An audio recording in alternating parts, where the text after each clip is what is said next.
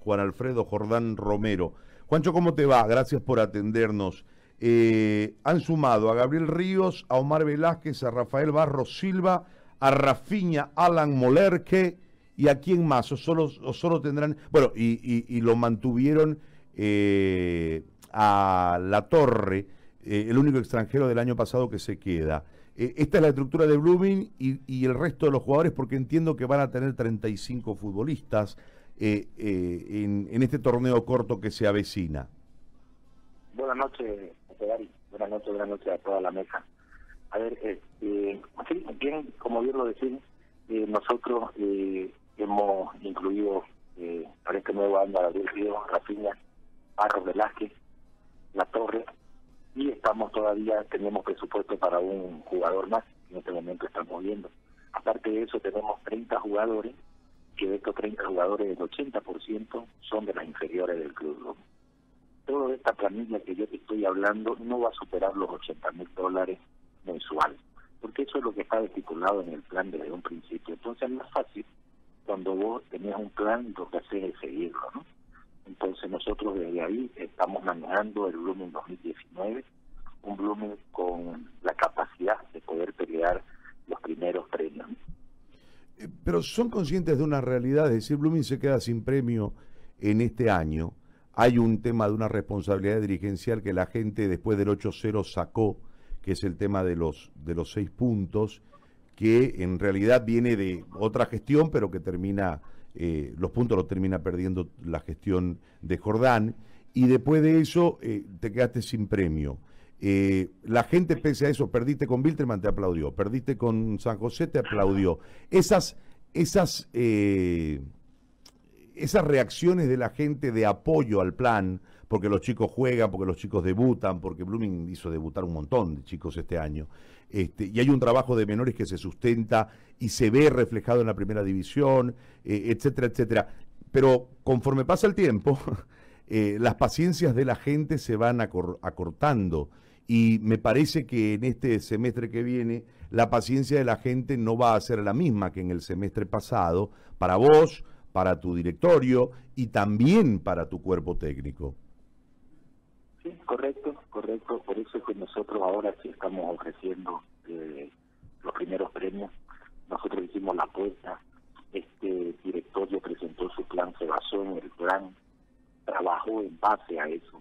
¿No? Ahora sí, por supuesto, que seguramente eh, la hinchada eh, no aguantará tanto, aunque están viendo y están conscientes de lo que es el nuevo volumen son orgullosos, vos te topás con un luminista en un acontecimiento social donde hay como siempre luminista orientista y algún otro equipo y ellos son orgullosos ahora de lo que está sucediendo en el club y en su división menor.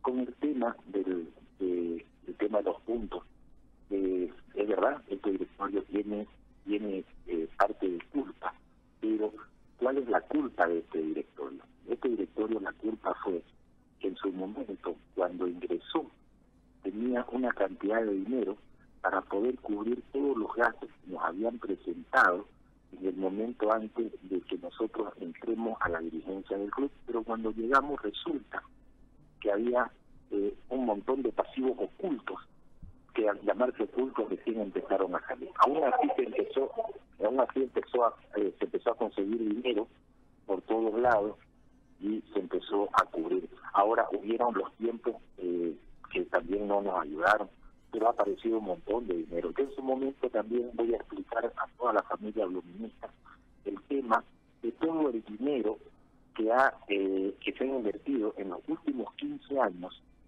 en que el, el dinero que ingresa al club de parte de préstamos sin intereses, de préstamos de directorio. Entonces cuando la gente habla, a ver, un año y medio que ha cambiado, dicen, y la deuda sigue siendo la misma. Un momento, la deuda sigue siendo la misma en monto, pero resulta que ahora el 50% se debe sin intereses y al directorio eh, actual. Esas son las cosas que están cambiando en el club. Ahora, al decir 80 mil dólares en la nueva, eh, la nueva estructura, en la planilla mensual, esto a nosotros nos ayuda a que no vamos a tener eh, durante el año los sobresaltos que hemos tenido en la anterior, en la anterior gestión estamos siendo responsables con, con nuestra familia como corresponde. Y vos decís, pero eh, van a ser irresponsables porque el equipo no va a ser competitivo, no es así, el equipo va a ser más competitivo que nunca, solo que al ser jugadores nuestros y al tener contratos grandes, es ahí donde nos podemos dar el lujo de que nuestra familia sea, yo creo que de las más bajas eh, del fútbol boliviano, pero con uno de los equipos más competitivos. Ahora, te hago una, te hago una consulta más referida a, este, este año que, que fue tumultuoso, ¿no? Hubo momentos en que el equipo quiso parar, este, nosotros en algún momento fuimos testigos de la desesperación en la que entró el directorio porque el equipo paraba eh, antes de Día de los Muertos y se jugaba el clásico y, y habían un montón de cosas y ustedes prácticamente parieron plata, no sé de dónde, pero parieron. Este, y les cumplieron, y les cumplieron, y les cumplieron. ¿Cómo cerraron el año? ¿Cuánto les deben o, no les deben?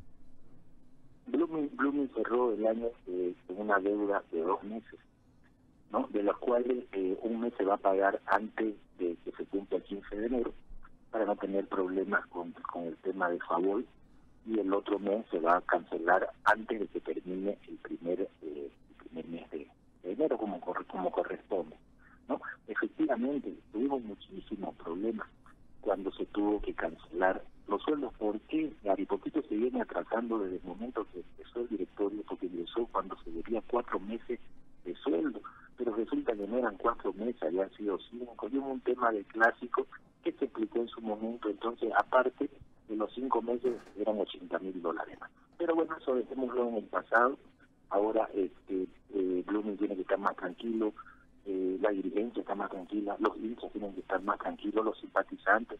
Eh, yo dejé de ver eh, mucho el de, las redes sociales porque mi familia me lo pidió, pero aún así vos sabés cómo es el ser humano, lo hace medio escondida, lo hace.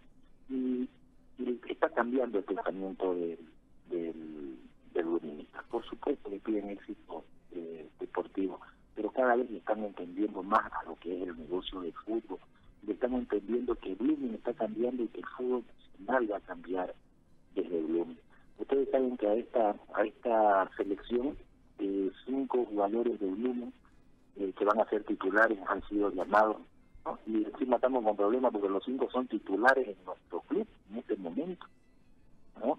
Y aún así vienen tres, cuatro chicos más eh, por detrás. Entonces lo de Blooming es una realidad, Ari, y la realidad no se esconde, la planilla no va a pasar de los 80 mil dólares con jugadores eh, de primer nivel y dando pelea este, hasta el final. El caso Leo Vaca, Juancho, y el caso Arano, porque entiendo que hay ofertas por los dos.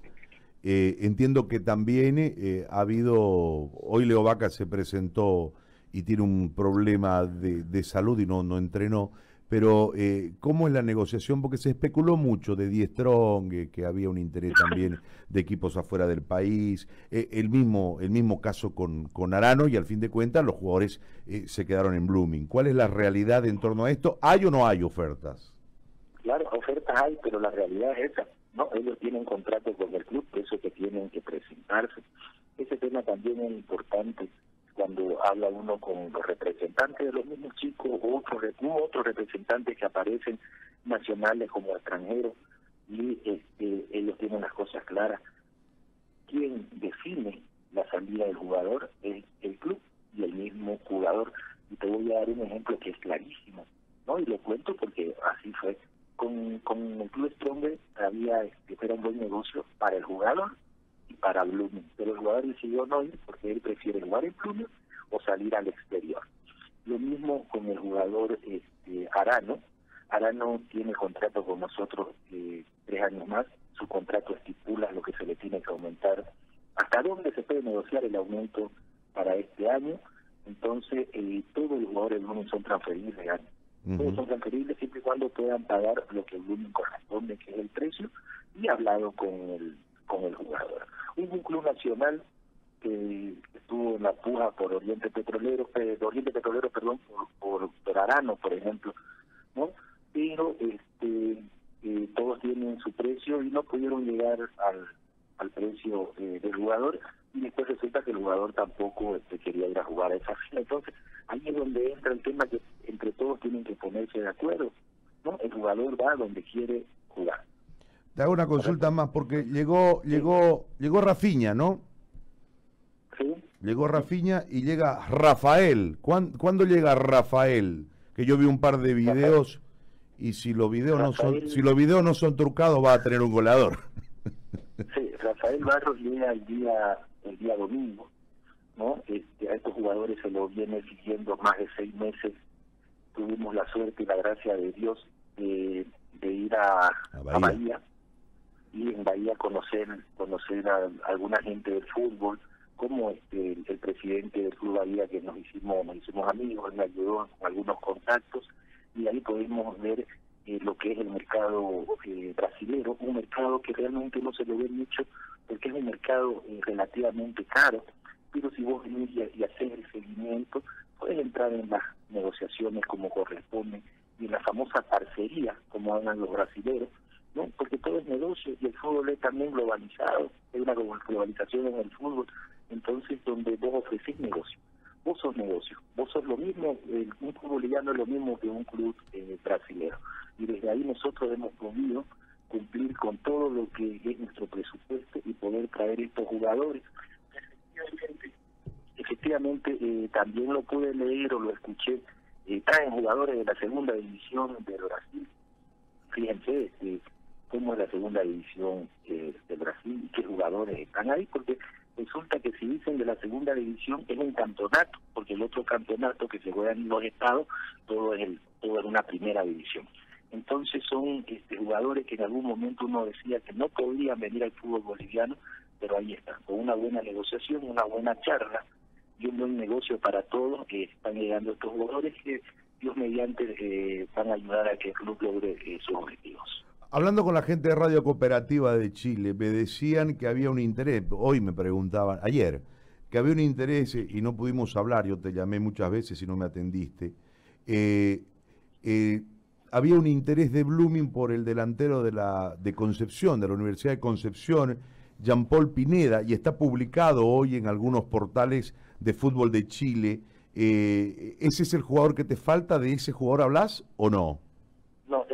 Hablando que esas son más o menos las características, ¿no? Y eso es bueno y es, también un orgullo para, el hincha luminista, ¿no? Que al llegar una noticia, que yo no sé cómo se filtra una cosa y la otra, pero vos fijate, ya la sacan en los periódicos más importantes, entonces quiere decir que Blooming es un, equipo reconocido eh, internacionalmente y es importante para cualquier traspaso de cualquier eh, jugador.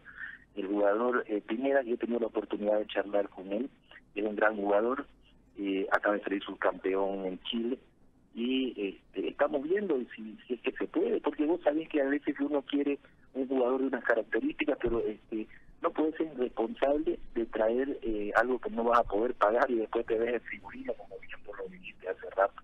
no Entonces estamos estamos ahí, eh, él me está analizando también, es un solo jugador el que nos falta para poder encarar todo el campeonato 2019. Bueno, eh, ¿cuándo venís al programa? Invítenme, invítenme y ya, vamos a estar por ahí. Contestá, pues contestá, si cómo te vamos a invitar si no contestás. Mandar un correo electrónico. Mandar un correo electrónico. Ya, les voy a contestar. Te voy a decir que este, José Gary, lo que le digo siempre a mis hermanos, que la tercera vez no te contesto es porque no quiero hablar con vos. Ah, ya, muy bien. Saludos, querido amigo. Chao, chao, Guancho. Estamos hablando ya. Chao, gracias, muy amable. Bueno, ahí está el presidente de Blooming y esta realidad que eh, se encuadra en un concepto de orden económico, administrativo, que se encuadra a su vez dentro de un plan de desarrollo de menores.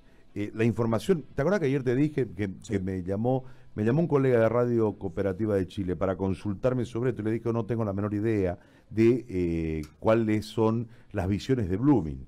Eh, pero ayer ya era noticia en Chile, hoy fue publicado en algunos portales de, fútbol de Chile la, la, venida o no de este futbolista. Mm, no quiso decir, hay una negociación, eso está claro, pero no, no, está cerrada. Eh, hay una posibilidad también de un jugador paraguayo, que eso me lo preguntan a mí de la Argentina. No me acuerdo en qué club juega, pero es un chico sub-23 que por espacio dentro de uno de los grandes de Argentina, por espacio no juega. Entonces quieren prestarlo, darlo, entregarlo un, un, Un un año. tiempo. ¿Te acuerdas lo que pasó con Ceballos cuando vino aquí por, Claro. por primera vez? Claro. Esa historia más o menos. O con Mesidoro también. O con o con Mesidoro, ¿eh? Una historia así. Y eso tiene que ver con el buen relacionamiento que ha logrado eh, Blooming internacionalmente en este tiempo. Eh, yo- se van a enojar mis amigos empresarios o representantes, pero mientras más lo salten, más barato. ¿No? Porque vos hablas con el jugador que pide tal cosa, aparece el empresario y ¡pam! más plata. Y muchas veces no es ni para el jugador, hombre. Pero bueno, no importa, no nos amarguemos con eso. Ese es el panorama más o menos.